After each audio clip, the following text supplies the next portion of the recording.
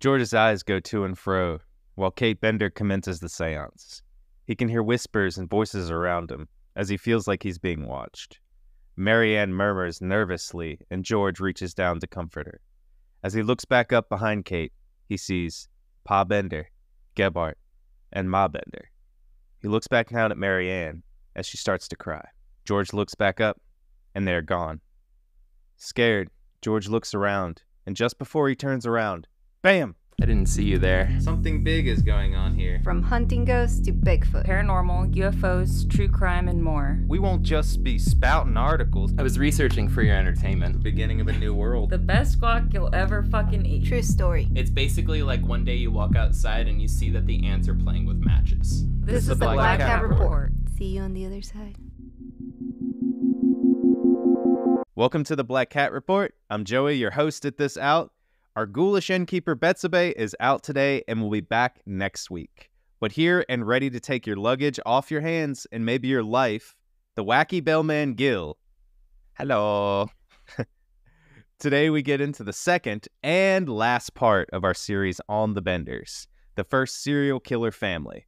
Almost like the first family, like in the White House. But this house is gray, disgusting, and full of death and flies. That just kind of sounds like the White House. Yeah, yeah, the swamp, right? Yes. yeah. It's it's the gray house. yeah, yeah. Well, anyways, let's get back into the story. We have the Benders settled into their new home in Cherryvale, Kansas, while their Airbnb is up and running, and their Grow Cry store is booming With flies. with flies. Well, I mean, they have some things, I suppose, but to some it's boom. To them, it's booming. Mostly just a used mattress outlet comprised of like wooden pallets and hay filled with bed bugs. Well, that's kind of the their bed, right? That's what they love, Yeah. right? That's why they're there. Just as as snug as a bug in a bed bug. Ha ha ha ha. ha. uh, oh, it itches. well, the Addams family on meth is escaping blame for the crazy deaths that happen, but they haven't just been sitting on their heels.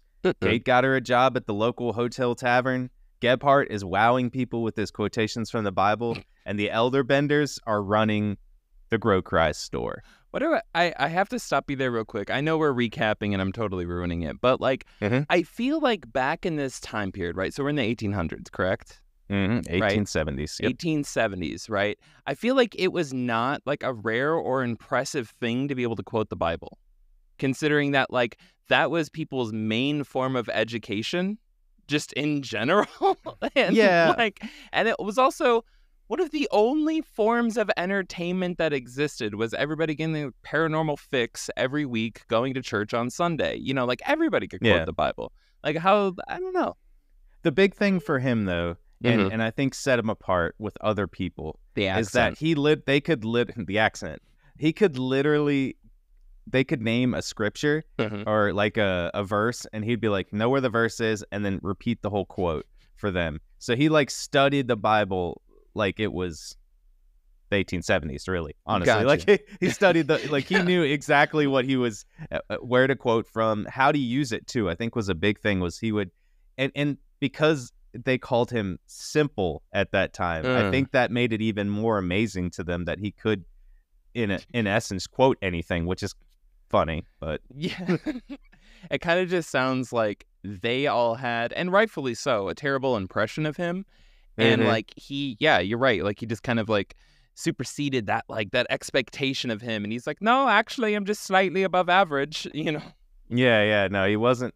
I mean, he wasn't a genius. Uh, He did, you know, he did hide behind a, a simple demeanor, though, Mm-hmm. Mm. and he was cunning. And I think that's the biggest thing that we'll find out and found out last episode is he's a little cunning too. I'm but gonna, the whole family is. I'm gonna say the cunningness probably just comes from most people not being able to understand his accent.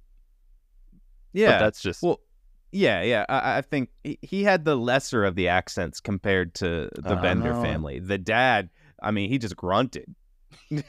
he was just grunting English, remember?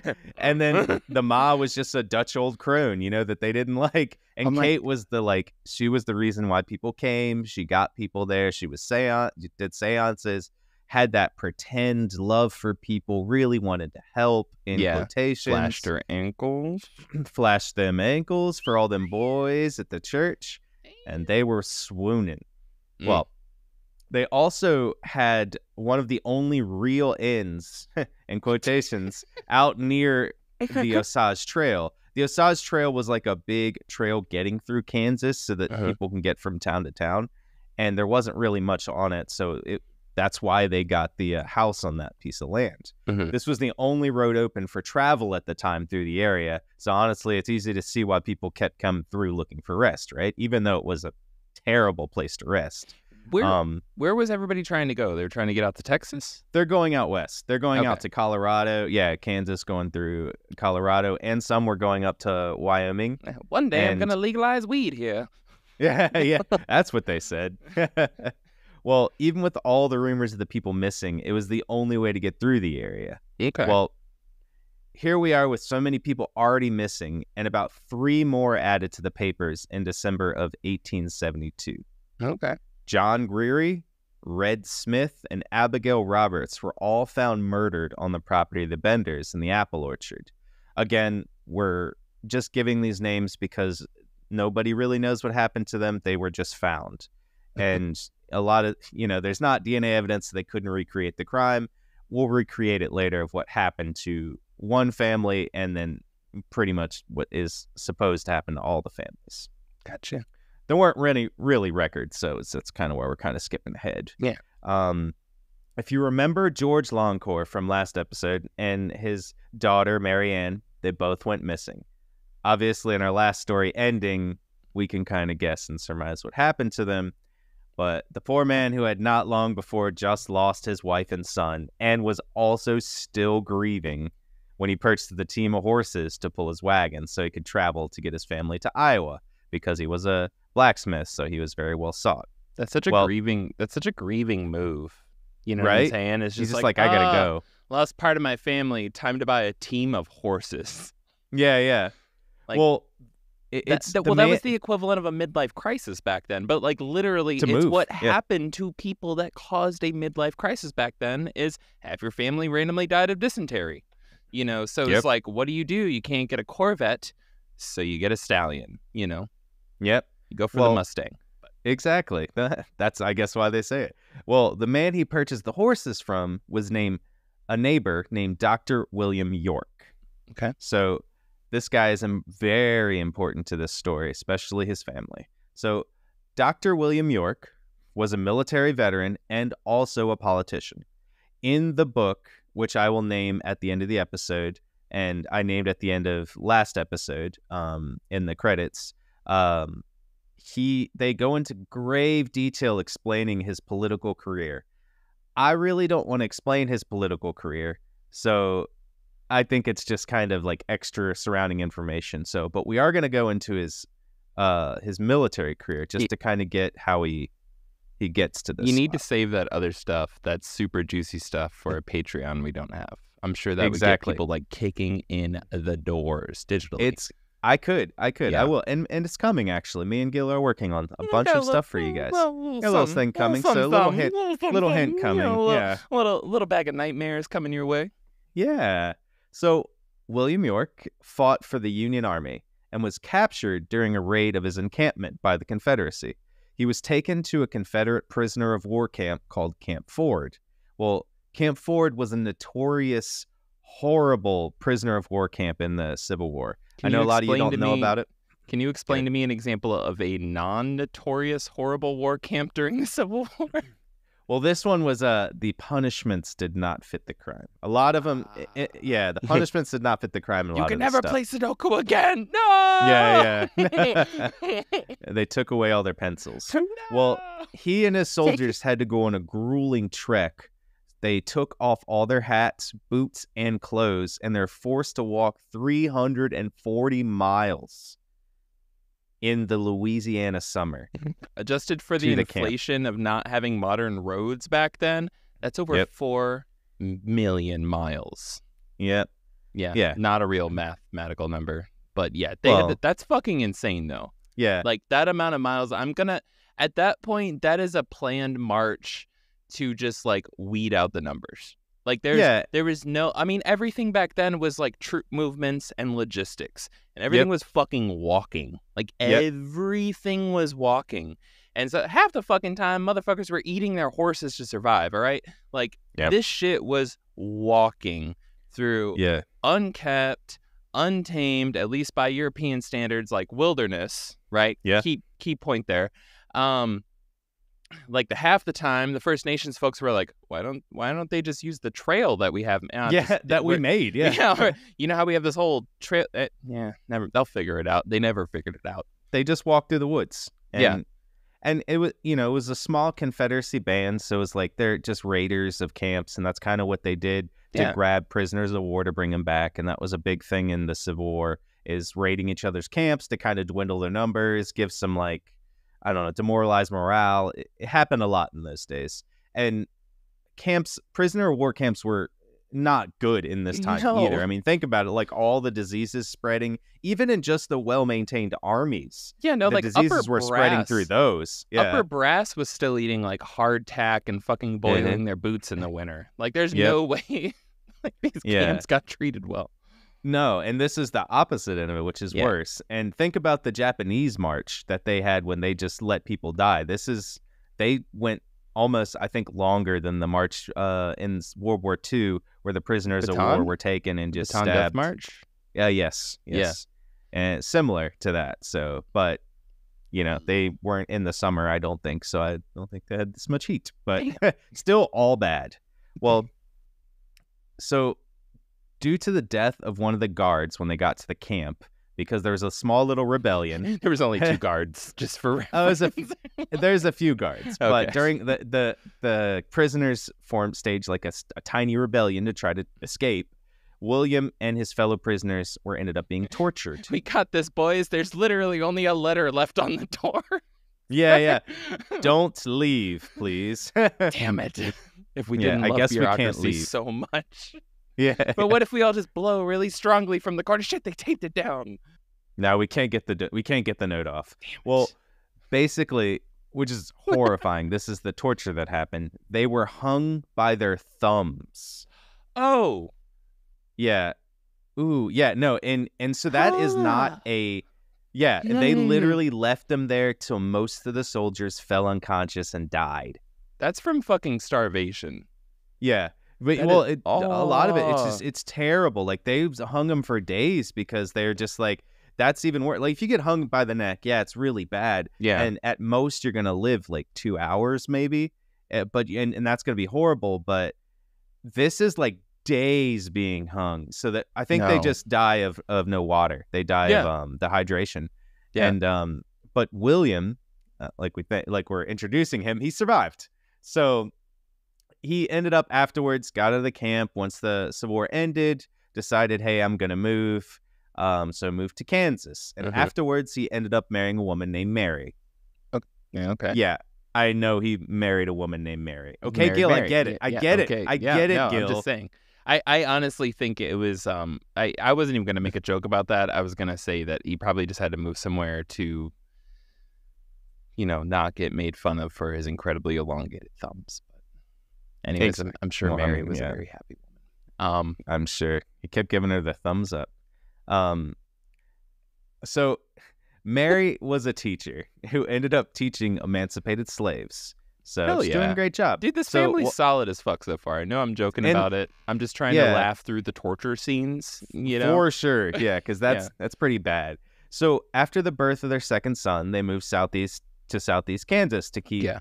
Uh, Dr. William York's practice and Okay. to get away from the memories of the war, obviously. So Yeah. he's just like, I'm getting away from from where we were. It's time to go start a new life. Well, on March 9th, 1973, Dr. William York left his brother's house, going to his home in Independence, Kansas. So he's like, I'm I'm heading out. You know, our friend has just been has been missing. So I'm just going to go ahead and go take a look, go see if I can find him, right? Yeah. Um he's he hasn't sent me a letter or anything like that, so I'm just gonna go look. yeah. Well, a few days before this, he had read in a paper that investigators, well, the Vigilance Committee, the Vigilante Committee members had found a wagon that looked an awful like awful lot like the one he sold George Longcore. George Longcore's wagon painted on the side. They're like, yeah, Yeah, yeah. looks familiar. Wait, I, I think I check the wheels. That. That. shit squeaky. Squeaky as hell. God damn it, we've got a murderer. We've got a murderer. Well, they also found clothes in it that belonged to a man and a little girl. Okay. So, yeah, which Yeah. is you know we look at George Longcore and we his, know it his wasn't a Catholic priest. Okay. Exactly. Exactly. Okay. So William decided that well, just like most all of us true crime buffs and maniacs out there, so uh, many. all of us internet sleuths and detectives, he was going to try and investigate the disappearance of his friend himself. so he went to ye old Wikipedia. Yeah, he Yeah, went to quest. Wikipedia. Yep, just to start. Well, on March 9th, he said goodbye to his wife and kids and kissed her one last time. Mm. Mary and the kids watched him disappear into the sun. So they're just waving at him like, bye, Dad. can't Yeah. Where'd he go? He's off to Wikipedia. He's off to Wikipedia, Kansas. So as he reached Morehead, Kansas, which the wagon was stationed, so the wagon that was, you know, ha- held George, his friend, to see if Mhm. anyone would be able to identify it. Mhm. He obviously was devastated that it was the one he had sold to George. Was this the equivalent of like coming down to like the like the the fucking morgue to like identify a body back in the day? Just like, damn it, that is Bob's wagon. Yeah, and, and because most of the time they wouldn't be able to find bodies, if Yeah. they couldn't find the body, they tried to identify stuff that belonged to them, Yeah, you know? So, that makes sense. yeah, it, yeah, it makes sense. And eventually we'll see what happens. Just like picture a morgue. They're just like pulling out these chests out of a cold morgue, and they're like, "Is this his wagon?" Yes, it's Mhm. his fucking wagon. I remember when I put that S from high school on the side. Mm, I know. In the heart.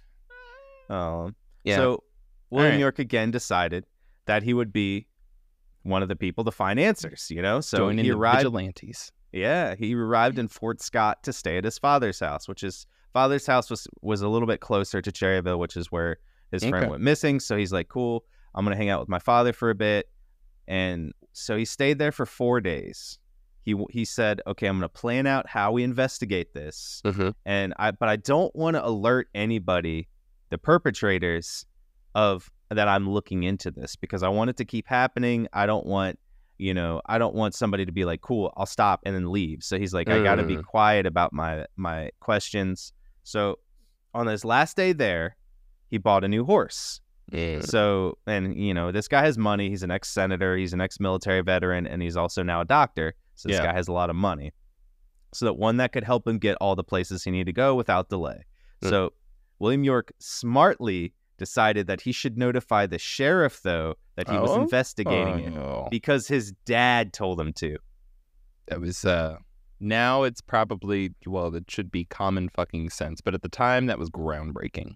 Yeah. Like the dad was like, No, I think that if you're looking for murderers, you should probably tell the sheriff You that you're going to do that. you know how you're going to be sneaking around all the sites that are being investigated?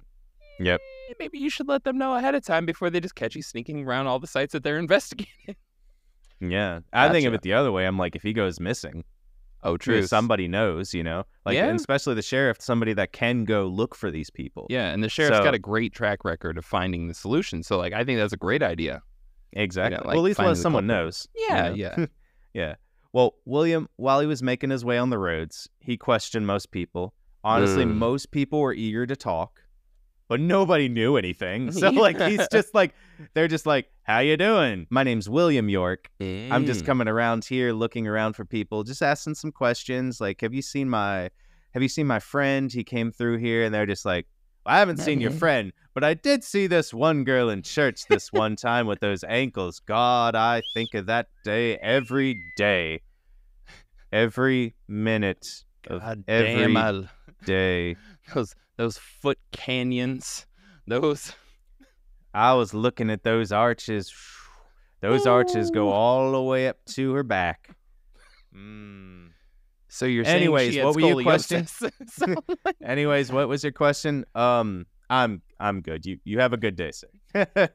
so he's made his way following the trail that he thought George and Marianne had taken. okay. So, well, we're gonna jump a little ahead here first because I I kind of want to just jump a little bit ahead. I was picturing the whole time that he was going to start using fake names. You let me know when he's ready to do that because I know he's going to. He better Yeah, use fake names. We're gonna jump ahead of the old um, investigation to other things. so- Please give me. we'll the jump joke. back to him Please give me the Tom York joke. Like he's like, my name's Tom. I'm a, I'm a creep. I'm a, a weirdo. What the hell am I doing here? I, I don't belong here. You know, he was a military veteran and a politician. I don't know if he was ever labeled a good singer. So I don't know if he got there yet. But I think he was working on an album before he left. So he I- just didn't get to the point I'm convinced that he could this, put out an album. I'm convinced the story ends with his family lineage going back to England, which I'm just going to assume his family's from, and then like Seems like it, yeah. the- yeah, and like Tom York, you know, that's how we get Tom York. Yeah, I think so. I'm just going to As say long as it's not spelled T H O M, it is, but he's the only one that's okay. I guess so. We'll Yeah. we'll decide about that later. Okay, Um, we'll fight off there. enough, um, enough, so- enough going off trail. We're going to catch dysentery if we keep going this way. We need to get Yeah, back we need on to trail. hop back on the trail. That's right. So we're jumping forward here a few days. Okay. No word or tale was ever heard from William York again. Oh shit! So we're gonna hop over that, and we'll come back to him a little later. Okay. So William's brother Alexander, he had two brothers. Okay, so William's brother Alexander visited their father. He was pretty worried because obviously his brother was missing, and so he hasn't heard from him three to four days, um, almost a week. Okay. And so obviously, who wouldn't be? You know, yeah. both Alexander and their father went to the same sheriff Mm. that he talked to and said, Hey, William's missing. So the word was out now. People were searching for William York. The sheriff, Mary York, Alexander York, and William's other younger brother, Edward York. I hope it They was had themselves a little family posse. I hope it was just Gebhardt with a mustache playing as the sheriff. Oh, that would be hilarious. And yeah, I didn't see him, but um, I heard that they had great rates this week at the Bender Out. If you want to come by, As it comes stay, yeah. Well, it was around this time that the Benders started to sour a bit more in the eyes of the town. oh, I mean, you know, they people stopped. Li- people liked them at the beginning. So I just want to say this: people did kind of like them at the beginning. Obviously, Kate was a big hit in this town. yeah, that can Kate do a lot. was a huge hit. yeah, Pa Bender, people thought was fine. You know, they're just Yeah. like he's okay. Yeah. Gebhardt, he's simple, but he can quote some Bibles. He can quote them Bibles. You know, them Yeah. Bible verses, and so he just the people like them. yeah. But one incident around this time started pushing the town to turn on them. Mm-hmm. Kate would do what she does best. She was a medium, you know. She Okay. like re- like we talked earlier in spiritualism, she was the medium and she was doing séances. Okay. And she could connect dead people with their deceased loved ones, which at this time freaking booming business. you yeah, know, th- like there yeah, happened to have been a lot of deceased loved ones in a concentrated area at this Yep. time. Yeah. Right. Yeah, yeah. Hey, And and worldly, like 5 years ago, we're talking about 6 years ago, we're talking Yeah. about Civil War. So Yeah. in spring, there are a lot of wildfires in Kansas. So Really? basically, they burn a lot of the low brush away. And instead, yeah, during this time, instead of Okay. letting it happen, Yeah. one of their neighbors named John Dienst was killed trying to fight the fires. Mm-hmm. So a lot of this, you. yeah, Sorry. you know, he's just trying to he's trying to fight the fires. At this time, I just think they were carrying buckets, throwing some water on it, or or or cutting, Shit, or trying to to put cut. water in it again. Sorry, I Yeah. shouldn't make fun of him. No, this poor guy, because he had a family. It was really sad. Oh fuck. So he basically inhaled all the smoke while he was fighting and went unconscious and just never woke up again. and if I can pull at a heartstring here, and Oh. sadly Betsabe's not here to, to hear this too, just like last episode with the Taylor Swift talk. Darn you, or was that the one before? I think that was last That was episode. the last well, one. That was the last one. yeah. Well, just kind of like Jack Pearson Uh, from our favorite show, This Is Us. So let's give a moment of silence for Jack and John Dietz. Well, so Kate saw dollar signs, okay? So as she charged for seances, and it's for, well, I guess I can say, in quotations, consoling wink wink. mm. Yeah. I mean, low key though, they kind of were like therapists back in the day. Oh, for sure. Like their And con also- artistry pushed the emotional limits to the point of like they're saying you need to go on with your life. They Yeah. still want to talk to you because you know they still need a little bit of money. they need to make but that like moolah, they yeah. still want to talk to you. But they're saying they want you to be happy. They want you to blah blah blah, and they also want to check in next month. Um, Mm-hmm. this episode mm-hmm. is not brought to you by Better Health. Yes. Better help. Yep. so she rode up to the Dean's house to meet John's mother Okay. and mother in law, who both lived there. Henrietta was John's mother, and she had no intention of letting Kate take advantage of them. You know, she was very worried. She's just like, I don't believe in a lot of this stuff. I, I think Kate is like a she she thought Kate was like this horrible person, charlatan, and she knew that she's coming up here to try to take advantage of uh, the mother-in-law, who actually was like way more distressed about the death. So she was like Henrietta basically was. had a high school education compared to the rest of the town. It was just like this person's a piece of shit. Yeah, yeah. She just knew that Kate Yeah. was not genuine in her Yeah. feelings for this. So Okay. as Kate rode up and dismounted, she walked up to them. Delilah, who was John's mother-in-law, took the kids in the house because Henrietta was like, Delilah, take the kids in the house. Just go in there, hang out for a minute. She just And threw Henrietta- her cell phone down into the grass, like fucking ready to go. Yeah, Like, she was on. like, she was like Flip. hawked up. She was ready to go. So she walked right past Kate without saying a word. damn. Grabbed the reins of Kate's horse. What? Kate's horse, and then motioned to Kate to get back on and get the fuck out. Oh, that's like yeah, that is the that is literally the equivalent of like somebody just got out of the car and you just walk by, grab their keys, open their door, and they're just holding them up like, come on, come on, Yep. get the fuck back in, go, get out of here. Damn, Yep. Get on out. that's So, another level of cold, dude. she's awesome because she so just cold. they stared at it. each other for a while too. They just stared, and you could feel it. And then I can still until feel it. all compassion left Kate's face and her demeanor changed, knowing she was caught. Fucking ankles Kate- turned red. Yeah, Kate jumped right onto the horse Ooh. and she was turning to go off. And Henrietta said to her, Mhm. like almost yelled to her, Mhm. the Deeds family, living and dead, have no need for your services. Ooh. And she was not to contact any of them again. She was get the fuck out of here. Neither me, Hell. John, or or uh, Delilah need any of you. So Hell. yeah, she's like, get the fuck out of here. Seeing right through the disguise. Yeah. Henrietta would continue to spread the word around town afterwards that the Benders and especially Kate were not good people. So and she would reject them whenever they could. Damn, so she started the vibe. She started the vibe. She was the one to be like, let's sour on them because I know something's up with them. I know they're charlatans. They beginning come in here and take suspect an the advantage. sheriff. Yeah, And I- what did I do? Mustache I did falling nothing. Off. Yeah, yeah. running away. He's just like Yeah. walking away. Oont, oont. I Those better get to the out. familiar. so now, with that story told, I wanted to go into the background because they just, it, the, you know, they they it, they were getting cold to the town was getting cold to them, and people Yeah. were starting to suspect them because I mean they were they'd been there for about uh, two years, two three years almost. So. Everybody that goes near them goes missing. Is Yeah. that, is that why? yeah, and I mean people weren't connecting it at this time, but people Okay. were starting to start Yeah, start starting understanding. Yeah, starting to talk.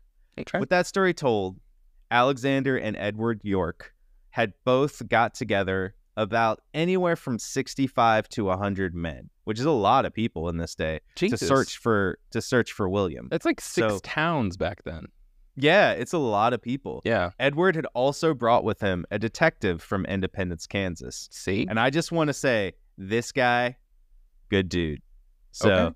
yeah. Okay. For the most part, it was easy to trace William York's trail as everyone pointed to Ladore, Kansas. It it wasn't that hard to find this guy at first. well, as they were in town in Ladore, Kansas, Yeah. Edward York got drunk during the afternoon and Uh-huh. said the man that owned the tavern, named James Roach, great name to own a tavern, Fucking awesome. was He's the, the club owner murderer. of that time. Yeah. Yeah. literally. He, My name's th- James Roach. Edward like pointed at him and he was drunk as fuck, just being like, Uh-huh. "My brother's dead. Uh, my brother's missing. I think you're the one who took him and killed him." So I think Mhm. at this point they're thinking he's dead, but they don't know. Obviously, you as a as a family member, you don't, you know, that happens to you. You're never thinking they're dead, but you you have feelings, you know. And I think Yeah. that He's just like, you did it. It's your fault. So Mhm. he had a few, James Roach had a few coincidences of business partners going missing and also people who owed Roach money. So this is why they started being like, okay, we think maybe this is you. And this is after they questioned people in town. So they're kind of putting these little things together. But his brother, Alexander, who was the older one, questioned Roach.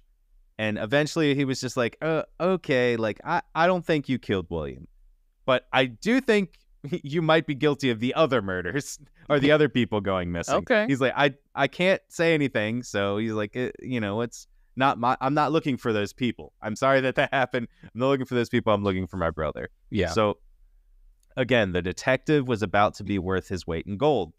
He was just like walking downtown, just kind of looking around, just like, you know, poking around and, and, uh, uh, literally just walking around I taking did, notes. I did. I did literally just picture him poking. Like- yeah. Like poking a door, poking some wood, you know, poking nice people that walk by. yeah. Yeah. well, while he was doing that, a random boy walked up to him and told him, I saw a horse that was on its way heading to Independence. Oh. I remembered it because I liked his horse. And he ended up saying it was the horse that William was riding. So that was the go ahead. The detective said, okay, I'm going to Mm. start canvassing the area where I heard two bodies were found about a year earlier. So Drum Creek, remember? And Mhm. uh, about a year earlier, those two bodies were randomly found by those boys in Drum Creek. yeah. He's like, okay, now it's time to go start searching there because we might be at the end where we might find some bo- a body. So I just I just love that at one point in history it was an actual serious statement where he's like, I gotta go talk to a guy about a horse. yeah, Yeah. mister, I really fucking loved it. It was crazy though because like the other day, this really beautiful horse I saw that was leaving towards Drum Creek, it was um uh yeah, the horse was riding the guy and they just went down the road together. He's like, yeah, yeah, God damn it, I'm going to drum. Yeah. Well, instead of actually being like, I gotta go take a piss, you're like, I gotta go actually talk about a horse. I just picture little kids. I, I picture him as a newsboy. He's a newsie. You know, this little Yeah, kid literally. like running up to him. Like, I why else would he be out on the streets Extra, in the extra. Wild West in the downtown area composed of literally three buildings? You know, right? like yeah. he just runs up to him as he's taking a leak behind the bar that everybody knows club owner Roach is the murderer for, and he's just trying to like eavesdrop through the doors. He's poking at holes in the wall. You know, yeah, like literally. then, Yep. Hi, Mister. Did you hear about my favorite horse? He's like, I, well, I didn't. I was just. Uh, yeah, you probably shouldn't be over here. Okay, no, it's okay. I hang out at the Catholic Church. Anyway, so I saw this guy being ridden on by a horse, a beautiful horse. Let me tell you, most Yeah, yeah. beautiful horse That's I what ever seen. Yeah, yeah. Okay, Well- okay. I'm here. I'm here, Joey. I'm here with it. So while they're while they're going out to Drum Creek, well, before Mhm. the detective was like, you know what, we should probably hire a local guide, somebody who knows the area. I like how they act like they're Obviously. going into the Amazon. like, well, I mean, they're going out to nowhere, and they're also going on people's land. yeah, so they want somebody who's That from the area that can be like, hey, that hey won't guys, get shot knows at the family that won't get shot out first. Yeah. Yeah. So Okay, the man's name who would who would go through this whole the whole rest of the story is named Leroy Dick. Go ahead, Gil. I got nothing. Well, The very name surprising. like that, I don't need a joke. Yeah, you don't know. No, the Dick's already Okay. the joke. So. okay. okay. Well, Dick led the detective and the Yorks to Henrietta Dean's house. Well, as you can imagine, Henrietta pointed the finger squarely at our friend Kate Bender. So the detective had made several notes in his book about Kate already, as most of the town had something to say about her. Of course they did, right? curvature, Yeah, they were describing some. supple, pale. They were going very penthouse on it, I think. but I think at this time it was called Pent Shack. I don't know, it was something like Yeah. that. But Pent- so pent he, out. he pent out, yeah. So Yeah. he scribbled down one piece that was interesting from her flyers that she put around town, and her flyer said thus. Professor Miss Katie Bender can heal all sorts of diseases, cure blindness, fits, deafness, and all such diseases. Also, death and dumbness. also diseases. And like the logo was literally just a single, like just like a single index finger pulling up, just like creasing the part of her long dress, like showing just enough of an- that ankle cleavage, that real mm-hmm. good ankle cleavage. Like that was her fucking logo. And the fact that she put in Miss in there, mm. oh, oh, that was a, that was a dog whistle to the six men in town who could read. Damn. Mm-hmm. Yeah, I know. And then she just had two of her fingers in a circle and uh, three fingers out, and you know she punch you every time you look at it. Some guy would come out and just knock you in the face like every the time you circle at game. it. Yeah, to play the circle game. God damn it. All right, so Miss Bender out here doing things. Yeah, well, the Benders having an unfound robbery charge against them. So they and people generally not liking them or in a How town. do you have an unfound robbery charge? One of the What does that so mean? so explain in in 1871 Uh-huh.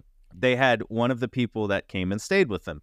Okay. Well, they ended up taking his stuff, honestly. Well, and and oh, go ahead. Sorry. well, they ended up taking his stuff. And basically the guy ended up leaving and coming back and they were like, "No, we didn't see your stuff. It's gone. It was uh What mean? um it was gone." And they're like, "It was the mm-hmm. horse riders must have come in and taken it. The bandits must have come in and taken it." And they literally didn't get charged for this because the guy was just like, "Well, you guys were here. I left."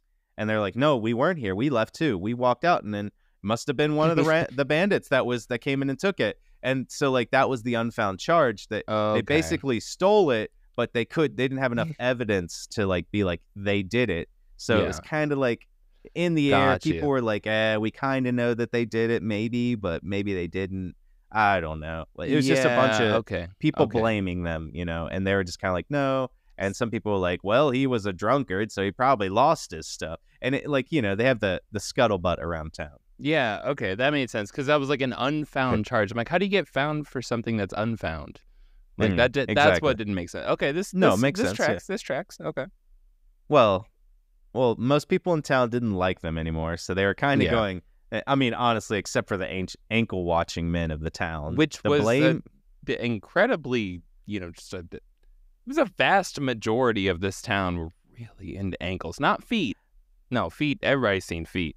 and to be Ankles, though. fair, it was it was the men saying, "Oh, like looking at it, being like, no, the Benders are right," but then their their wives of this town of this time were just being like, "The Benders are terrible," and the guy's like, "Oh yeah, yeah, the Benders are the West trash horrible. Yes, ma'am. Yes, ma'am. Yeah. Oh, Yeah. yeah. awful." So Yeah, do you see the way those ankles bend? Ha! No, no, no, no. No, I love the way your ankles bend, peg leg Sally. Yeah, yeah. And Yeah. and obviously the, you know, everyone around town starting to be like, okay, these people are a little funny. So on April 4th, 1873, Alexander decided it's time to head out to the Bender's house to question them about Ooh. William's disappearance. This is the boss So- fight. It is. Okay. So the detective and Alexander set out and reached the cabin. They sent Edward and some of the other men to stay behind and drag Drum Creek to see if they maybe find a body or something. So So they were the trying bodies to were they were trying to dredge it. They were trying to drag it. Yeah. Like how what was that process like? Like how many coat well, they were throwing they- nets in there. They were throwing nets in there, like I just- normal. I did picture that as very inefficient. It was just like, "Huh?" and it's just like forty feet away from the other down the ring. shoreline, and they're like Yeah, nothing. yeah, and, and they're just kind of they're just tossing nets in there, dragging it. They have like you know said sixty-five to hundred people, so a good amount of people. Most of those people went, A lot Two of people drum with creek. coat hangers. Okay. Yeah. and Alexander also and the detective both decided because Edward was usually getting drunk and yeah. and like pretty pretty prone to anger quickly. Obviously, he's in Yeah. a mental state because he loved his brother and Yeah. he was closer to his brother. But Alexander was older. He was more well put together. He was like, we we can't scare them off. Obviously, like if we find out they did it, Mhm. we can't just kill them. Like we, you know, it's like one part of it. He, we have to go through the legal part of it. So Okay. Alexander noted that the apple orchard was very well kept and the topsoil was raked and what looked like earlier in the day. oh, So, they're they were just yeah, so they were just like okay, cool. And and Alexander being he was very well educated as well because he was also a senator at this time yeah. and and military officer. So he was a colonel actually. Okay. So he's kind of looking there and like, okay, I, I see that. Let's just go talk to them. You just made me realize, like, at that time, sorry, I'm going off on another tangent. I'm full of them today. Um, like you could run for office just by casually introducing a new word through a, like a thesaurus to people. Yep. Like you Yep. could just be like, I'm smart casting. And they're just like, well, you know, I like that John Roberts. That John Roberts, you know, he's out here smart casting them words. And he's like, you all as citizens deserve to smart cast when you think about your politicians. And like nobody knows what smart cast means. And frankly, I just made it up, but y'all are voting for me now. Like that shit used to work. You could just make one word. Yep. Like, you didn't need a slogan. You could just be like one fucking word, smart cast. And then they were just like, Yep. Damn it, I want a smart cast. I'm like, ah, dude, that Yeah. such a fun time, man. You just, Alexander Smartcast York. You know, that's how he got his name. damn it. That's Yeah. crazy. You got the bends, time to smart cast. And you're just like, damn it. like, Yep. it was such a good time for marketing. Yeah, I know. It's it's One word. genius marketing. Yep. yeah. Well, after they Mhm. saw the you know apple orchard topsoil was raked and and tilled the, earlier in the day, they knocked on the door of the cabin, and then they let themselves in because apparently nobody was there. I mean, it was an inn still, you know, so like Legally obviously makes it your own house back in the day. Yep. If nobody's home to answer when you knock, it's yours. Pretty, pretty. Hey, finders keepers. I mean, know? that's what the Europeans did to like native folks here. So it's like I, and that rule had to apply to other they Europeans, didn't even right? have doors to knock on, so that's why it was just easy Yeah, for them the to te- come right in. You can't Yeah. hear, but I'm I'm knocking on the studio padding right now. That's what it sounds like. Yeah, pretty much. Yeah, they're on the on the skin uh, teepees that they had. They were just like Yeah. Or longhouse. Well, the longhouses Yeah. did actually have. true. Yeah, Yeah. Which was a majority of the area. Anyways, we're getting too much into that. yeah. Let's we're get in too much into this part too. Yeah, let's Yeah, bend back. The benders. Yeah. Okay. Time to get back. Um, bend it like Alexander. Um, Mm-hmm. Alexander introduced himself as the brother of William York and said, Okay. "I wish to find out whether he is dead or alive." Mm. Which he kind of just was like, "Cool, let's just lay it out on the table." Okay. and he was reading them too so it was a kind of like he the detective sat like next to uh, alexander he was watching the family because kate you know was like hey Watch Come in, let's talk about it. in the room. yeah which detectives this detective was very good at so the detective sat and watched kate's demeanor as they talked Specifically, her ankle twitches. right yeah it was twitching every time they said william um and at that moment and they had like maybe 10 15 minutes worth of talking Okay. Gebhardt kind of bursts into the house. Not really like slamming the door, but kind of being like Kramer Like, from Seinfeld. Kram yeah, Kram- he Kramers into the door. hey guys. And just like Kramer, without even a question, he admitted, I got a hot tub. yeah, he's like, I got shot at where they found the body near Oh. Christmas. Oh. Yeah, so like he wasn't even asked this question. And he like bursts in with this uh this alibi. And so everyone's kind of So Alexander and the detective are just kind of like looking at each other, like Sein, like Jerry Seinfeld and uh, George Costanza, like what? And so that doesn't even make sense. yeah, they're like doesn't even make sense. It's a show about nothing. So and then Elaine going like, well, so Alexander, Alexander's like, okay, let's let's just go with this guy to check it out. Right. Okay. Yeah, they're but Yeah. Oh, so as they walked out, Kate grabbed Alexander's arm and said, Well, if you come back next week without your man, I'll have an answer. Wink. Ooh. And Alexander was like, Sploosh. Uh, excuse me?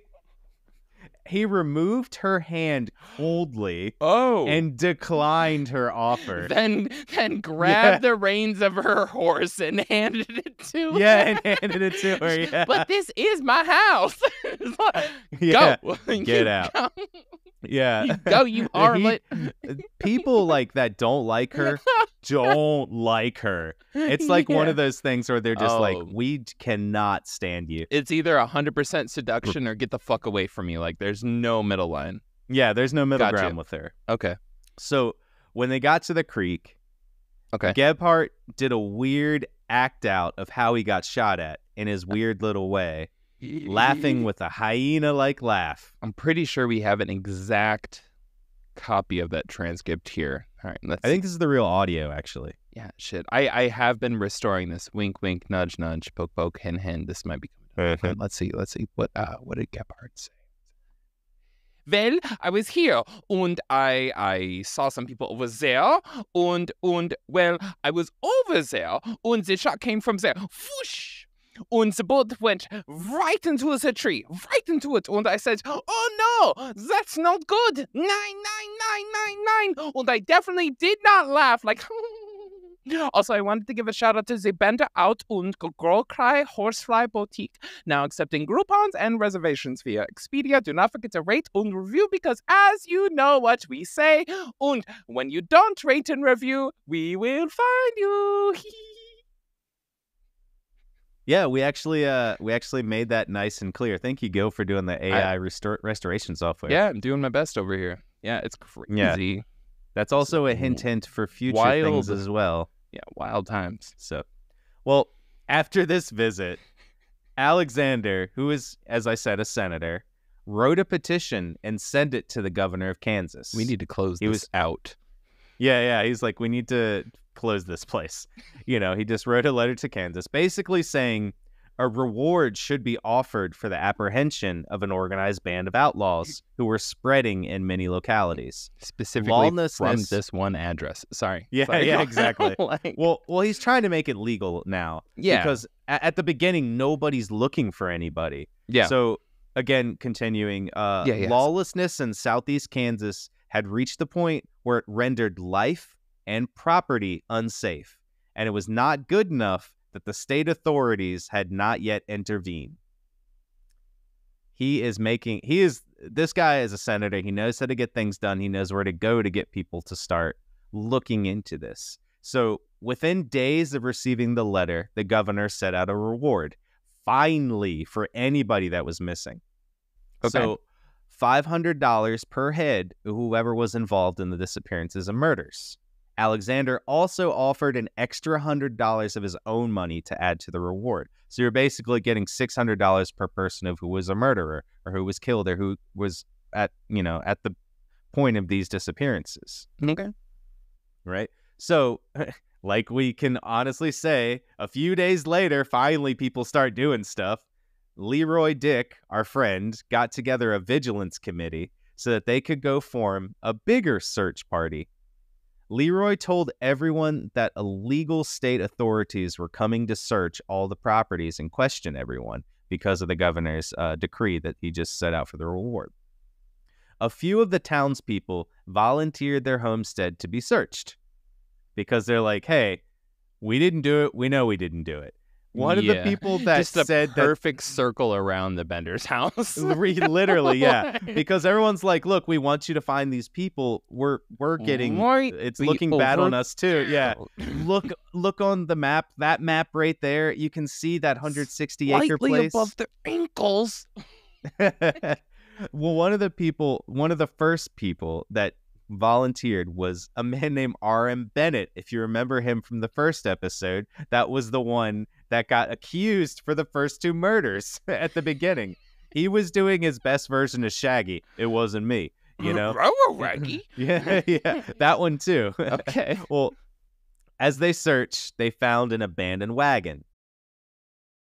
On It his was property? cake- No, no, as they okay, searched the whole like, town. Damn, he sorry. fucked up. They okay. searched the whole gotcha. towns and they found uh, an abandoned wagon. It was caked in filth Yeah. and had two odd dished back wheels that looked almost broken. Winter loving flies swarming Mhm. around it, bed bugs inside of wooden pallets, a bunch of posters for psychical observations, research, ankle viewings, all sorts of crazy things were in this wagon. Okay, Yep. I'm here. I'm well, here. they searched the, they dragged the wagon from the ravine and then noted down what they found inside. fish. They found a double barrel shotgun yeah. and one of the things that you will all remember, a wooden plank that said grow cries on one side. and on the other yes, and on the other side in neater handwriting, they found a neater handwriting on the other side no, of that no, sign. no. It said groceries. No. Yeah.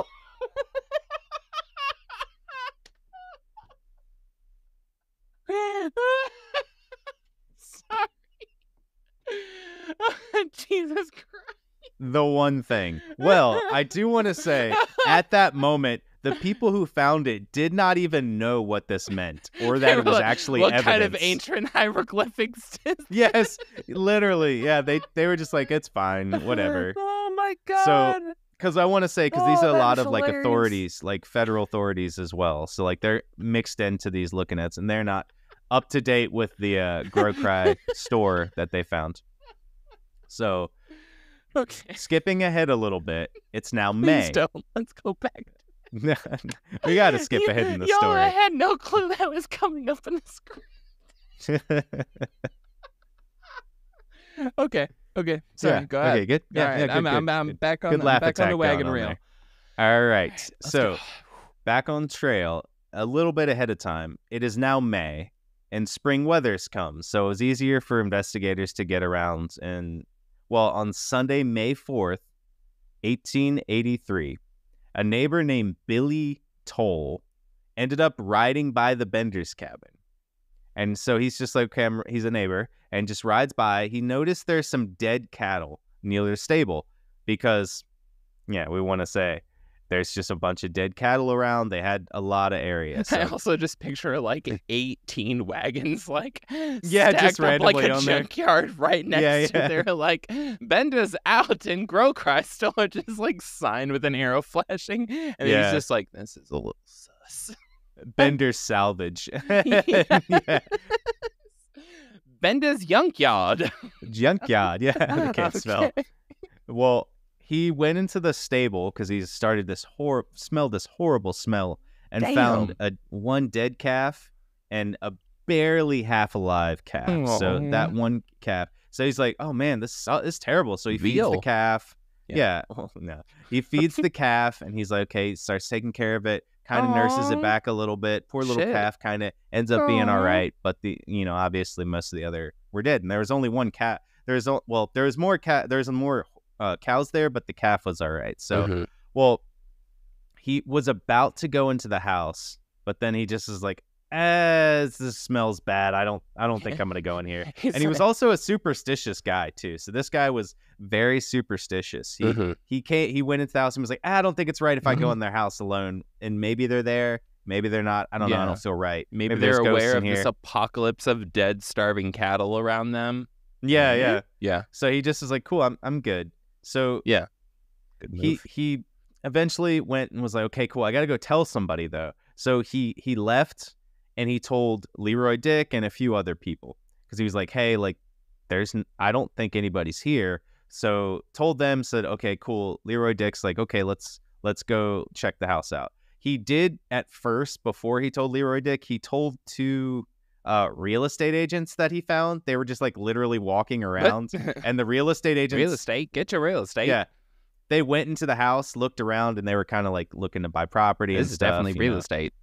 Yeah, it was very weird. And then they left. Okay. They left, and like they didn't really touch anything or do anything. They just kind of looked around and left. Mm, But and so the guy didn't go in. Went and told Leroy, old Leroy, and uh, Leroy Dick was like, "Okay, cool. Like, let's go take a look at this house." And so he suspected that Alexander York's visit made the Benders leave, but he Oh. didn't necessarily think it was because they were guilty. He was like, "Well, they're kind of coming through, just like saying, okay, maybe they're guilty," and kind of like any, anyone would be like, well, if they think we killed all these people, why should we stay? You know, like we're not making that much money. Yeah. We're not doing well here, so let's leave. So, well, on Monday, May 5th, 1873, Leroy Dick arrived at the Bender's homestead. Cinco de Mayo party. Mhm. He halted right outside the cabin. It was the smell of death that stopped him, and he knew it. Because Leroy Dick was a veteran of the Civil War. Okay. He knew what death smelled like. So yeah. he started searching around the house. Well, he also noted that inside the stable, he found many piles of new unearthed dirt. Oh. So, Yeah. Maybe they're starting a garden. Okay. No, maybe, yeah, inside the stable. So Yeah. Dick then went inside the cabin and noted again, but even worse, a horrible smell. Okay. Yeah. So he's searching around, just looking everywhere. He went into the back of the house past the wagon canvas. As we all know, they use that huge wagon canvas yeah, to, to have the great basically reveal. separate the Yeah, for the great reveal to During separate the every two rooms. seance, they were like, "Ah, ah, saw," and then just like pull Yep. back and they're and they're all standing there, and then everybody's running out of the house, and it becomes the hills have eyes real quick. Yeah. Mm, Yep. Okay. Well, he noticed a small leather strap protruding out from under one of the beds. Taking this yeah, home from right? my wife. It went to the trap door. Yeah, it went to the trap door down to the cellar. Oh, So he-. Obviously picked it up. Yeah. He climbed down into the cellar. Mhm. Again, hordes of flies came out of the cellar. Hordes of them. And just horrible smell. Got even stronger as he went down there. Okay. But as he searched around, again, he found no body. Mm. So as he climbed back out, you know, obviously, like, I know people died here. Yeah. He's searching around, looking around the kitchen area, and he ends up looking under the stove, but it wasn't too conspicuous. Like, he, it Hmm. wasn't like they put it in the stove or like had a secret drawer. It was just Arm literally like, out. yeah, it was just like really just kind of hanging out almost underneath the stove. Okay. He found three hammers. Oh. Yeah. The first was a three inch claw hammer. That's, you know, kind of a normal hammer that we use to hammer in nails nowadays. Mhm. The second, another hammer that was just a little bit longer with an, another elongated head. So just a little bit bigger of a hammer. Okay. And the third was a homemade sledgehammer weighing about five pounds. Damn. So basically, he just made this hammer for things that they needed to bash. Okay. Yeah. So None of that's out of the find- ordinary back. no, then, no. By the way. And he didn't find much. You know, Okay. obviously he's looking around. Okay, cool. Like there's no bodies. I haven't found anything. Uh, appears to be But he did notice- on this, but it's a little bit licked it. That's um Kool Aid. Kool-Aid. strawberry. yes, Kool-Aid. So no bodies. He's like, okay, well, I'm not gonna stay here. Yeah. You know, it's kind of getting towards night. so Nobody's he- no problem. Yep. So he leaves. Well, he comes back uh, the next day, May sixth. You know, on in 1883. It was time to start digging because Leroy Tasty. knew there were bodies there, and he Okay. saw the dirt in the stable, and he's like, "Okay, I, think there's some bodies around here." Okay. He brought people back with him, Mhm. so they had three groups of diggers. How many people in a One. group? Yeah, yeah. Uh, three groups of diggers. I think there is about five or six in each group. Okay. Says okay. 15 people, not a lot of people That's, comparatively that's to a what they need. of people. But it's a good peop- good amount Half of the people town's to look. population. Okay. Yeah. So the first group would search Drum Creek, and they would they weren't going to dig. They were just going to walk around, see if there's any weirdness in the you know area, Yeah. if there's any bodies down there. Like they had Nope. already done, but they're just doing it a little harder. So they were just fishing the second, yeah, yeah, pretty, that's pretty much what they're doing. So the second would dig out and around the stable because that's where he saw the the dirt. So he's like, okay, Yeah. like look in, dig around here, and the third with him would go into the cellar under the house. So he's like, cool, we're all going down there because I know there's something down here. The cellar dig group found the Hey. first disgustingness. Oh no. They dug into the sides of the cellar, right? Because you can't. Oh, I uh, can hear it. And human petrified, Oh, I can hear it. bloody soil frothed out onto the ground as they were digging. And it just kept coming out of the ground, even though they weren't digging anymore. And they had to get up out of the cellar as it just sludged onto the ground. Oh. it- horrifying sounds to them. And funny What? enough, there was this weird guy dressed in a suit out there doing this. just one guy. And they asked this guy why he did it. He was like, I don't know. I always dress up for stuff. and, and and there was no reason for it, which is terrible. As this disgustingness is like covering Yes. them. This guy's like in a suit and and obviously Leroy Dick's like, What are you doing? You, you knew we're digging. You know we're here digging. So God, tell me his They last go- name was Bentley. We have to be related. I would be doing I- some dumbass shit like that. It it didn't What do you mention the mean? guy's name, this but is what this is what I'm all about, motherfuckers. Let's go. mm, Like- yeah, it definitely wasn't Bender, but it was. I have a duffel Bentley. bag ready for these kinds of situations. Yeah, yeah, okay. yeah. So Okay. after they were done digging, so they they they decided to they're done digging down there, and they dug for a little bit more, and honestly, they couldn't find any bodies. Right? Because they were all So- a nasty fucking soup mix at this point. Yeah, yeah. Okay. It was disgusting. Yeah. So at that time, the drum search party, the Drum Creek search party returned, and they said they found no bodies, right? Because they're Mm. like, okay, there's nothing down there. Like two, like uh, about a year ago before this is like we we couldn't find any bodies in that area and the other area. That sucks So- because all we found was Hormel chili. Yeah, so yeah, they found. Uh, remember, remember the bean thing from that the bean one from the movie? All those uh, everyone eating the beans. Yeah. So Edward York was looking around the house, and he was inside the house and looked in the kitchen and found the bridle of William York Mm. behind a barrel that held the Grow Cries.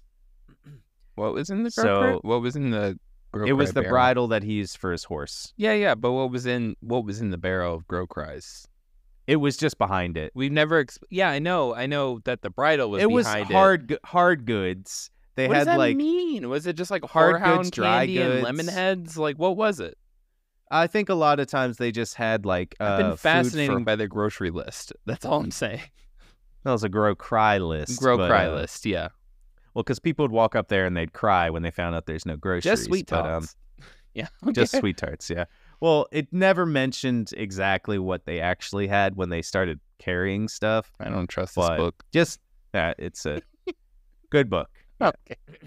Well, after they found the bridle of William York, they're just like, okay, he's here.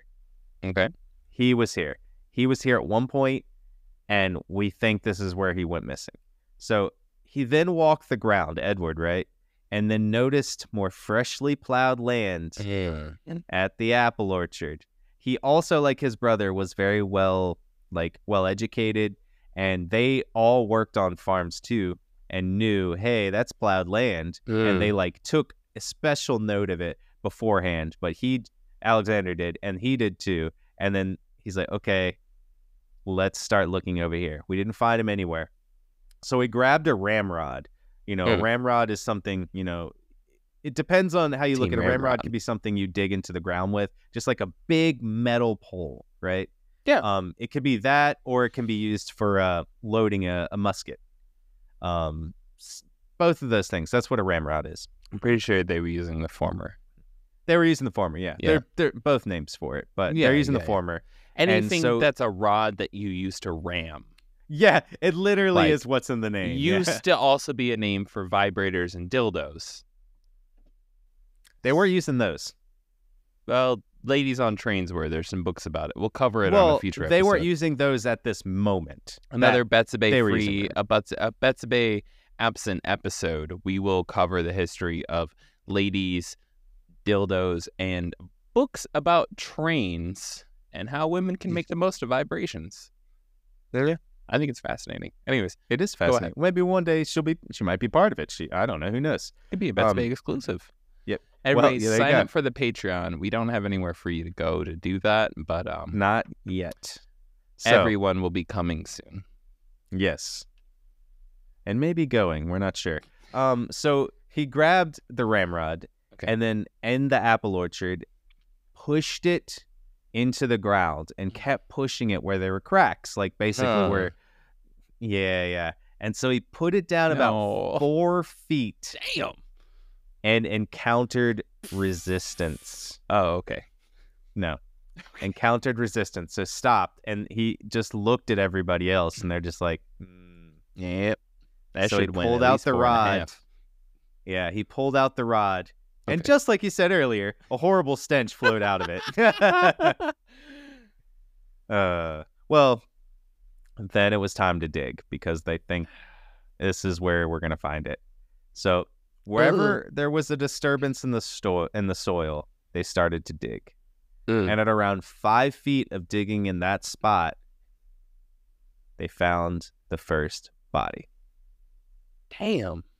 Mhm. They couldn't figure out why it had a broken ankle, but they continued to just.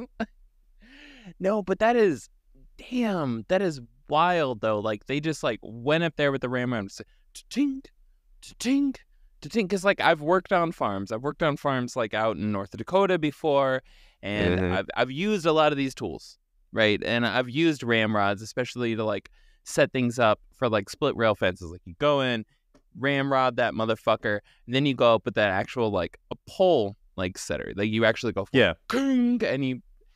Yep. If you're smarter than me, you have earplugs in because it will fuck up your hearing. It's like "Fa-ping, fa-ping, fa-ping." Yeah, yeah. like you're hammering Mhm. that shit down. It's super intense, but Yeah. like I'm gonna be honest, like four and a half feet is a lot of work. They were very confident, and it was at that point when everybody's put in that much work. It had to have be it had to have been a way more awkward scene. It had to have been like a and he's like and he's just like well, and they're all just like yep, yep, yep.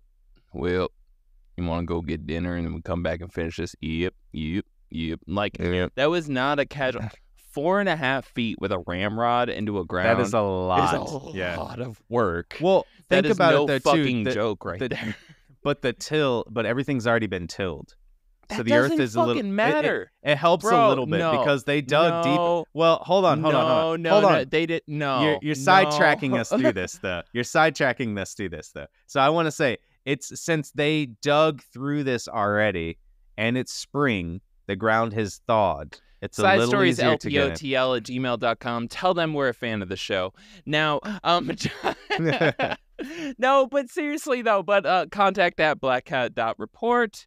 Um, hit us up. Anybody else that actually has experience using a ramrod, just so you can actually use the type of tools to set up a split rail fence, please call up, educate both of us. Um, but I've done that. I've done that for a Mhm. mile and a half long fence over the course of an entire summer. Shit took fucking forever. Yeah. Four and a half feet, I don't care how good the dirt is. Yo, that is so much work because you have to think Yeah. every time you press that ramrod down, the soil around the tip of that ramrod hardens. It condenses. It it flattens out. Four and a half feet is fucking insane. So I'm just saying at that point, I uh, to me, I guess to fall back to like context around this whole tangent, to me that says they were so 100% certain that there was a body right the fuck there. And this was their way of being like, well, we don't want to fuck up the land if there actually was a reason this was tilled. So we're just going to use this because in court later on, they would, we could, uh, at that point in time, it was a historical precedent of like, we could get sued if we fuck this up. Yep. They and could. going into the yard and being like, we just used a ramrod, officer. We didn't do anything. Judge, magistrate, you know, like, yeah. Yeah. constable. Like we didn't do anything. We just put a ramrod in. They're trying to say that the crops failed because we put a single rod in the ground. No, no, no, no, Yep. no. And You it know, was but, also for resale of the house of the land Yes. too afterwards because they knew they were gone. yeah. But I I want to get back to the story Yeah, after yeah, yeah, that yeah. tangent. Get back. So get back. We'll talk so about ramrods again. Patreon. yeah, it's fine. Yeah. Well, at around five feet of digging, Uh huh. they found their first body. And to much of the disgust and sadness of Alexander No. Edward, the first body they dug up was their brother, William York. His head and skull were bashed in, Oh. and his throat was slit, like they always say, from ear to ear, almost to where his head was sawn off. Uh, they were horrified. And it brought yes it brought closer to them and looking but they now knew they are the murderers. The benders are the murderers and Yeah. so the next day leroy dick came back with a few other people and they started digging into the other places where it looked like the soil was disturbed the next grave they found was henry mackenzie And mm. just like William, his head was bashed in and his neck was slashed. Now, I want to say the worst one of all was the, per- the people that William York came looking for. George Longcore and his daughter Marianne were both dug up Mhm. next. Damn. Longcore had the same abrasions and laceration across the neck as the other victims they had dug up. But Marianne was found in the grave with no marks or anything on her body. She was underneath the leg of her dad. It was thought that they buried her alive. The the baby was buried alive with the dad. Damn. which is this reading that and hearing that put this story at a horrifying thing to me. Can we go back to ramrods? Yeah, let's go talk about ramrods again. yeah, Can I think that was a better side project. please? Well, as you can probably figure out, the methods of killing were figured out right then. Ram- And well, yeah, ramrods. And while the house was laid out perfectly for murder, it was almost like Mm. they built the perfect murder inn. This is like Bates some Motel has nothing on this. H. H. Holmes fucking shit. Mhm. God Yep. damn. they would invite people into their inn, Mm. feed them like normal, and sometimes give them a séance depending on if they were lonely looking for people, What like we had talked about before. Yeah. Depending on Maybe a what you're continental into. breakfast, maybe a seance. Who knows? Yep. Okay. Well, they would sit at the table. Kate would sit on the other side and gave them their séance as they ate dinner. okay. And while the victim was at ease or like into the séance, Yeah. they would approach, bash, and bash in the person's head with the sledgehammer or claw hammer, mm, depending Wizard on what they could grab. Oz style, pull back the curtain, but Pull back the whole curtain, yep. family of benders. Yes, Yep. Bender from Futurama, all standing there, ready to bash in all there. Yep. And then as soon as they bashed their head in, they would slice their throat and they would pull up the trap door, throw them downstairs in the cellar, close the door, and let them bleed out. Has there been a single word said? You might be getting into this. Please, please, like, feel free to tell me if you are. Has there been a single word said about motivation? Because, like, one of the most confusing things about all of this is that they they were so We'll we'll get to fucking that. Well, yeah. they were so fucking meticulous about getting this plot of land. Yep.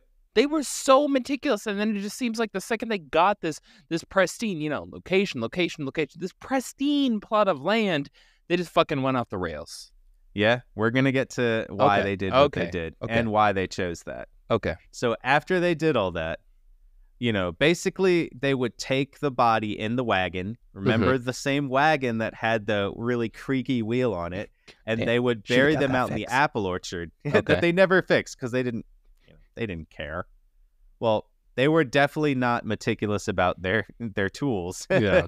and their except for their murder weapons. Well, Yeah. a few of the Home bodies were found down in the creek, right? Yeah. So the reason for this is because obviously we should all know that in Kansas, winter is fucking cold, yes. Yeah. I think you and the said that in the first five minutes. very hard and covered in permafrost. Okay. So trying to dig four and a half feet, like you just went on the tangent about the ramrod, Yes. try to dig four and a half feet. e- Even in North Carolina in No, the winter, no. it's hard. Hell you cannot no. do that. So instead of doing that, you know, because they're trying to Mhm. bury these people like quickly and in the night, so no one notices it, and Yeah. they're having people come in and out of the inn quickly. So they're trying to do like quick, you know, Yeah. knocking these people out and then Again. getting rid of them. Again, it's an out, not an in. But yeah, It's an Okay. out, yeah. Yeah. Well, they're going in, and, these people are going out real it's quick. an in and out. So, yeah, yeah, just not as good food, honestly. You know, I kind of in and out's always giving me the shits. But let's let's continue. Me too, but their food's so good. Um, yeah. Well, as they because it was so cold, they were just like, "Cool, let's instead of doing that, let's go dump them in the in the creek." On the bed of ice. Okay. yeah. Well, they they knocked holes in the they knocked holes in the the water and, and Oh, slid them underneath the water, and they're like, "We'll deal them in, deal with them in spring." Yeah. And then grab them and pull them for burial. But okay. because they probably forgot about the people that were down there, Yeah, they just kind of like, sixteen okay, more bodies by then. Yeah, right. So they, they kind of forgot, or they just didn't get to him in time. Yeah. So, well, because of all the money and goods they stole, they stole all the money and goods from them. Mm. It was surmised that there might be an accomplice in town. Obviously, they have to fence this stuff and make money from it. Becky So- Big Shoulders appeared on the Yeah. scene. A man named Rudolph Brockman, who owned a tavern, another tavern. I, I just want to make make it make sense. There are so many taverns in these stories because that's literally what most mm, people did after I'm- they got off work. going to imagine the sheer number of taverns is why it took so long to find out anything was happening because everybody was just piss poor drunk the whole time. Yep. Yeah, Yeah. agreed. And and there's so many taverns, so he could have been any of them could have gone missing in any of these taverns or towns. Quick name check. So- So, I have Dick, Roach, Bender, and Rudolph. Yes. Am I missing anyone? Uh not yet. No. Okay, cool, cool. Yeah. Okay. So there is a lot of names in this story too because there's just Great lot. It's a town. There's a lot of people. Yeah, but they, And they're great names, full too. of great names. Yeah, yeah. So Rudolph Brockman, he Mhm. owned the tavern not too far away from the house, and he was also of German descent. And Mm. He was one of the only real true friends of of Pa Bender. They were Oh. known to talk and hang out, and and it was granted What? they were Sorry. speaking in German. They were speaking was- in German I was like, what was the talking like? because they both Meow, were meow, German, meow, so they both spoke. It was just fucking like Boomhauer's like great great grandpa. Yo man, yo dang on man, yo see him man coming down the road man. You know, blah, blah, boom man, know, blah, wow man, know, dang on man, you know, how's your daughter doing? yeah. Mm, mm. It was Like, it, it was pretty much like that, but they Okay. spoke in German, I'm so here for they're it. both German descent. So that was the only way he could talk. So, well, as you can imagine, people knowing that the Benders did this after this Mhm. moment, and kind of connecting, like, okay, I, they were stealing things, people's stuff was gone missing. Yeah, There's got to be somebody here that's selling their stuff. You know, obviously, Oh, yeah, yeah, that's that's Some- their their their fence basically. There's somebody's getting Yeah. stuff and selling to other people yeah, yeah. they formed a huge posse and seized Brockman and basically Oh. took him to the Bender's cabin Uh. in the cellar. Ooh. They placed a noose around his neck and they were questioning him. Yep. They were just like, okay. This is straight you up know them- Guantanamo. Okay, Yeah, they they said, screw it, we don't care. yeah. So he kept saying, like, I didn't know anything that was going on. I don't know anything. I didn't Yeah. know that they were killing people.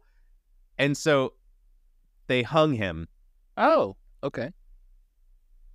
But just before he went unconscious, Oh, they dropped him back on the ground. okay. Let him sit there for a minute. So this guy is basically, you know, like can't talk barely. So they waited for a minute, gave him some herbs, gave him some stuff for his throat, some restoratives to, to get him back to talking. Horehound Questioned candy. him again. Yeah. Hung him again. Somebody there knew what the fuck they were doing. I'm just saying Yep. that was an experienced torturer. Like, They did this three times. God damn, this motherfucker Yep. had three near death. Well, I guess two near death experiences. Yep. Damn. And the last time they did it, uh-huh. They just left him lying there unconscious. And left. He actually they were real pissed. Yeah, they were pissed. He survived. What? And ended yeah, he survived and ended up walking like obviously not straight walking, but he was uh he was like lumbering back to his tavern and got there, survived, and Still ready eventually for the got five o'clock rush. yeah. Yeah, ready. Yeah, he was there. He didn't say a word, but he uh he ran that bar. Yep. Damn, So well, sadly, this is fucked. it's it's messed up. And and the outrage is understandable, honestly. Yeah. Not that they could could hang this guy, but I understand why these people were pissed because this had just been happening under their nose for so long.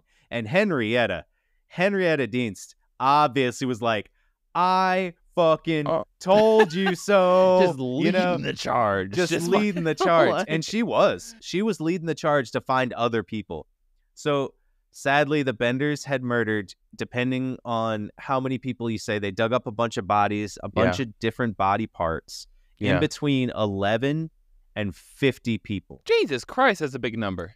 They don't know correctly how many people exactly. I can say that I believe there's probably more about 20 people were Yeah. killed. Um, and I think that that's more of a, a correct number of who, how many people I'm go- died. I'm gonna be honest. I'm gonna go off of from what you've what you've told me.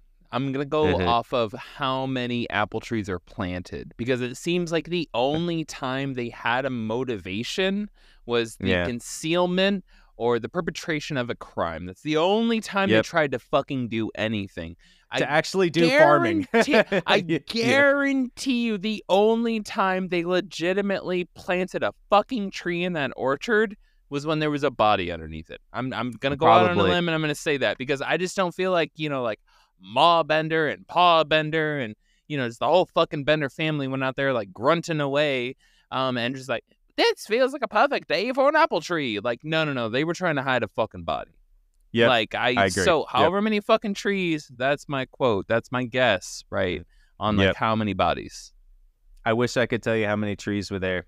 I don't know. Never made clear. That's my But- guess. That's my guess. I, Yep. I want to ask: Has anyone done tests on the water of the well at this fucking place? Because that I, I will fall back to so They much. also Okay. found two bodies In in, the well. well. Okay, but that's that that's later. I'm trying to say, and uh, not to not to just like eh, whatever, but like not just try to like gloss over. But I will say, like this family came in and very strategically like took this plot of land. They wanted this fucking piece of land. Again, I'm going to tell you why they want for- it more. Oh, well, when? When, Joey? I've been waiting it's for coming days up. and days it's and coming days. up with getting close to you the end of it we because record these episodes in advance, Joey. I've been waiting, mother. I know. I need and to I'll- know, like, We got a bit. We got a bit. It's fine. Just it, it's right, coming. You're killing Well, me. You're killing me. I know, and I and I like it. What? Mostly the papers at the time placed the blame and leadership solely on Kate Bender, right? Yeah, they look at them thought she was the one. Yeah, Yeah. she was the one in the in the public eye. She was Yeah. described as natural eye. devil and sly. They also said that she was the one that slit open the throats of the victims. She slit because- open the throats of the victims. Yep, she. They also said that she, yes, she she slit slit them open. Yeah, all right. All right. I'm here Yeah. for her. I think a victim. honestly it was more of a Firefly family thing. You know, like the Devil's no Rejects. what- oh, okay. Yeah. Devil's Rejects. Yeah, Yeah. they were all murderers and just as complicit as the others. Yeah. Gebhardt played off as a simpleton with his hyena laugh, but I think that he was very cunning and Yeah. he used that to put off any semblance of blame. Okay. Yeah, right? Yeah. well, now I know what you're asking. Well, what happened to the Benders? Yeah. Well, yeah, And- I would ask that next. Yeah. You just asked that earlier, too. Well, and I you're going to ask that know now. Yeah. why. But anyway, sir. Yeah, why? We'll get to what and why. You've So, been saying I- that. So what I know you him can now? imagine that this story has a similar ending to Richard Ramirez, where the No. whole neighborhood he terrorized chased and beat him down to the ground as he ran as scared as a little boy. I don't have enough faith in this neighborhood. I, I'm not with you on that one. But Sadly- I could see it happening. Sadly, that didn't happen. Shit. Yeah. On the night that Alexander York was writing his petition to the governor, Okay. the Benders freaking hightailed it out of town. Damn. They caught trains to separate destinations. Whoa. Gebhardt and Kate Bender took the train to Texas. So they're in Texas now. They jumped from the train and made their way through Indian territory. I've so it made that. it even harder for them to be found Okay. because they, yeah. So we'll get into a little bit more later, but I just want to bring this. So yeah, we're still going. We're still going, Damn. buddy. okay. Okay. They brought a bunch of guns. They bought a bunch of guns with the money they made from fencing the goods they took from their victims. Okay. Yeah, so they bought a bunch of ammo. This They're whole going out fucking Firefly town style. is just phase two of Yeah, like it's phase a two. multi-phase operation. Is that what you're telling me? Yeah, they weren't alone either. I'll tell. This is why it gets. Damn. Okay, So, keep going. Kate traded in her skirts for what is considered men's clothing Ooh, back that's in a the lot of money back then. 1870s. Yeah. Yep. They pulled into Denison, Texas, and stayed to wait. Yeah, it's funny, right? Yeah. Denison, Texas, and stayed to wait for Ma and Pa Bender. So Okay. once Ma and Pa Bender arrived, they all decided it was time to head to New Mexico because New Mexico at this point was not a Uh. state yet; it was a territory, Yeah. and most everything was flowing into the uh, uh, Native Americans' land. And so they're looking for res. They're looking at the reservation. Well, there weren't even reservations yet. They just pushed them Literally into New just Mexico. their land. Yeah. Yeah, Like- yeah. They weren't even they weren't even Yep. described as yet. They just pushed them into New Mexico because they wanted Texas. Okay. So that because it was not a state yet, it was filled filled with people who were just like them and people who would also protect them from authorities who would come looking. Mm. This was heaven for them. yeah. So it was literally the day that Leroy Dick found the first bits of death under the cellar of Benders that the Bender family set out for New Mexico. So these are the time periods coming up. And so, much to the chagrin of the detective and Leroy Dick, the governor took another week after they found that to lay the reward for the capture of the Benders. So they Yeah. were already gone. Yeah. But it was lucky because the tavern owner remembered a young couple and an old couple who camped out across the tavern and Denison. So there's a trail forming. here. Oh. the detectives are following them. okay. They caught up to them almost. Okay. The detective and Dick knew they were on the right trail. Okay. Well, it's here where we'll come to where the Benders meet their old friends and people who help them get where they're supposed to go and their land, the McPhersons.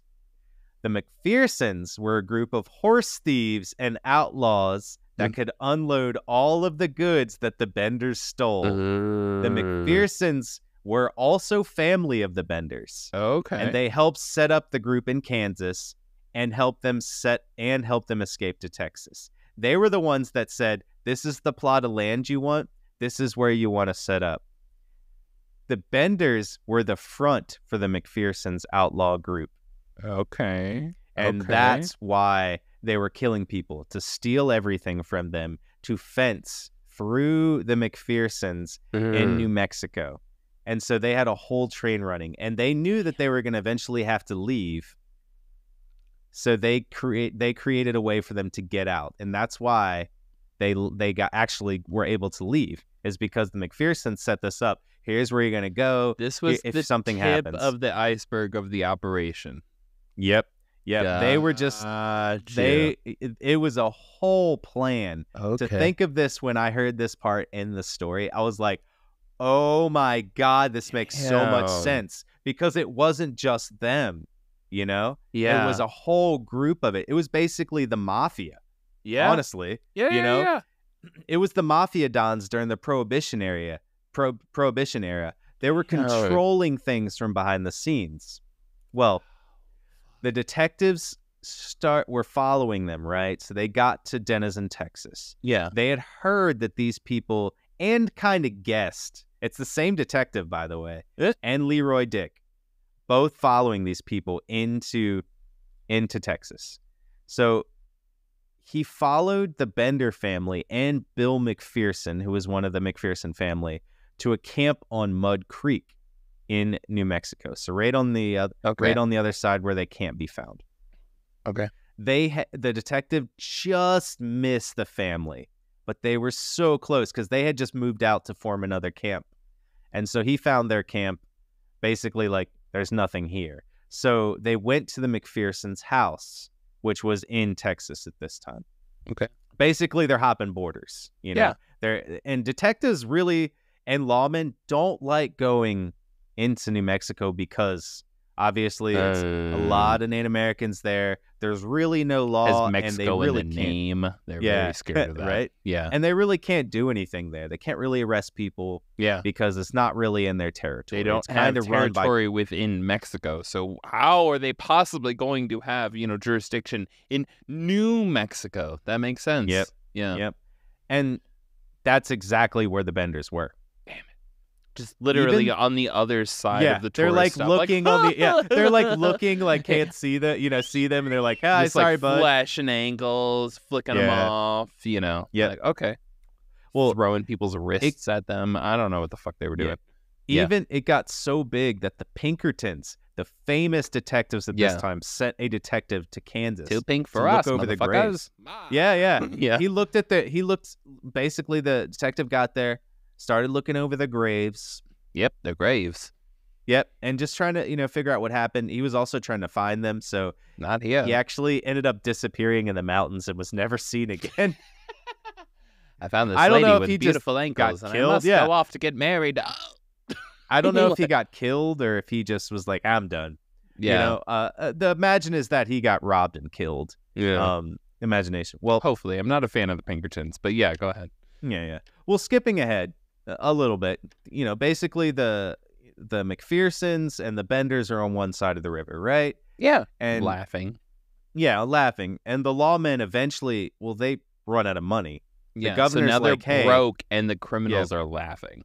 Yeah, pretty much. And and the lawmen are like, hey, the governor's like, we're not sending you any more money. Bruh. Texas is telling them we're not giving you money to investigate this because it didn't happen in Kansas. Bro, we're literally It didn't happen in Texas, it happened in Kansas. paid Kansas. you to do this. yeah, We and Can- never paid you to that was can that was like three states ago.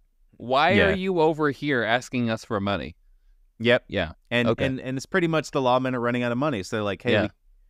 we- Alexander York Well, and the law only Edward runs York on money. Yeah. Exactly. And they're sitting there like, okay, well, we still need to find these people. Well, Yeah. They're kind of running out of money, time, and it's starting to be less of a story, honestly, okay. in the so newspapers so it's because losing like hype. it's it's losing losing, hype because they're just the people are like, oh, it's fine. The Benders are gone. I mean, it's still obviously well known that the Benders are the Benders. You know, like yeah, but it's like it's everywhere. But back on the small community where it really boom, Were like, really hit. And like the rest of the country is just kind of like, have you heard about these new criminals? Like they're just Yep. like, yeah, they're starting to not give a fuck. Okay, well, getting to the winter of 1875, um, Bill one. McPherson was captured by lawmen. Oh no, He actually got caught because he got sick. Yeah, he got sick. How and could like anyone they, tell? It, it, it well, he got really sick. Uh, he got really sick, and they captured him. They used that as an as a way to capture him while all the other McPhersons were gone. And so they captured him. They took him to jail. So he's his story eh, is not really over. It kind of is, but it's kind of not. So there are a few different versions of what happened to the Benders. Obviously, because that's kind of what normal back in those days is a few different versions. So the first story I want to say is kind of the fun story. Ma and Kate Bender were caught under the pseudonyms Almira Monroe and Sarah Davis. okay, These are their two pseudonyms, right? okay, They were found by a woman named Frances McCann. She dedicated four years of her life to finding them. She was that internet sleuth that sat there on Wikipedia. No joke. She literally dedicated her life to finding them. Damn. And so, you know, Frances McCann is differing opinions about her depending on how you believe what happened in the story Yeah. and what happened to the Benders. So they both were taken to jail Mhm. and they both were put on trial. While they were on trial, they threw each other under the bus. Okay. So, you know, They each got Almira Monroe wheel. and Sarah Davis, you know, they threw each other under the wheel. You know, yeah, turns the phrase. But eventually, it fa- you found out that Ma Bender, who was going under the pseudonym Almira, Almira Monroe, Mhm. was married seven times, and that the man who became Paul Bender was actually named John Flickinger. Yeah, so is that's is, is part of the the first part of the story, and John Gebhart and Pa Bender were never found in this version, and Ma and Pa Bender stood trial 16 years after they found the first body. So, in the trial, witnesses flip flopped on who they could identify. Mm. Some I some ID'd like, okay, I know that's Ma Bender. yeah. I know that woman is Ma Bender, and some of, but they were like, I, I don't think that's Kate Bender though. Let me see and ankles some- again. Yeah. Yeah, and some people were like, I know that's Kate Bender, Yeah, but they couldn't ID Ma Bender. I saw her So ankles is- again. Yeah, yeah, yeah, right. So the only person during the trial that could positively ID them was Rudolph Brockman, Mm. our little buddy that it got blamed for a lot of stuff. yeah, so but he did save Christmas eventually. he did. Rudolph did. Uh, his his his nose shone very bright. Nothing to do with leading a tavern or op- Yeah. owning and operating a tavern. Yeah. Well, as he looked at Ma and Pa Bender, his nose didn't glow red. Oh. He- He looked at him, uh, Ma. Uh, he looked at Ma and, and Kate Bender. He unequivocally said, "They are not Ma and Kate Bender." What? What? Yep. Rudolph, no. Yep. Both Almira Monroe and Sarah Davis were acquitted of the crimes and went to Michigan. Damn. So, well, ho- hold but on, hold on. You can't just jump peop- to Michigan. That is the opposite end of the fucking country. Yeah. Well, what was That's a told huge distance. Was was they were they lived in Michigan for a while. What? Um, if you believe this story, if you believe this story that they were Kate, and because some people said they were Kate and Ma Bender, okay. and some people said they weren't. okay. but they didn't have enough- Yeah, th- that's why this is part of a, a story, uh, one of the endings from them, because Yeah. it's never truly known what happens to them. That's a but big fucking jump, dude. yeah, and that they went to Michigan, but they had similar looks, and if you um they the people looked at their pictures and were like i think and leroy dick actually looked at them and Uh. said i know that that's ma bender and leroy dick Oh. knew them very well and he said i knew Oh. that's ma bender but when he looked at kate he said he didn't think that that was Oh. kate Oh. so part of it was like that's why they were so eh, that's why there was a little leeway in there is that Yeah. they just couldn't completely id both of them and in that story Mhm. Ma Bender murdered Pa Bender. Oh. Yeah. And so uh, that was part of the the thing too, is that she killed um, John Flickinger, who me- was the labeled. Let me know if I'm jumping ahead, but which do you believe? Well, we have Am another jumping sto- ahead. God, couple other Okay. stories. Yeah, yeah. How many versions So- do we got here? It's worse than the multiverse. We have- That's why we don't watch. Marvel movies. I know we have three, and and usually Alright. I hate when there's an open ended thing, but Yeah. it's it's it's part of it. You know, it's part of life, adventure. especially in Choose this time. There's a lot of like there's a lot of records. There's and there's a lot not of records of people dying. so Uh, you kind of have to deal with what we get. Okay. So other stories say that Alexander and Edward York murdered, well, I would say killed the Benders themselves. okay. Yeah. Sought One thing pointing just to this- revenge upon. the yeah, they sought just revenge. yeah, yeah. One Yeah. thing pointing to this was that the Yorks did not attend any of the trials Ooh. of the other two women. okay. Um, they left it alone, and a lot of people said that that is because they already knew that they killed the Benders. yeah. Why the and fuck with you go? Edward's, yeah, with Edward's uh, rage, Yeah. maybe they found him, and maybe they kind of didn't want to put it on themselves that they murdered people. Eh, So yeah. I personally, I'm not a big believer in that one. Okay. Okay. The last story is the it's the it's the opposite of Richard Ramirez's story. That's why I say it's like the Wait. The Benders just kills the entire town. Yeah no, What? eh, the- how they caught him. oh. Yeah, Okay. The last story says the Benders just stayed out west and passed out, eventually living like hermits, never facing justice for their crimes. I believe that one. I think that that's the one that I most believe in, I and it believe that sucks to say, but I think that's what happened. They just stayed in New Mexico.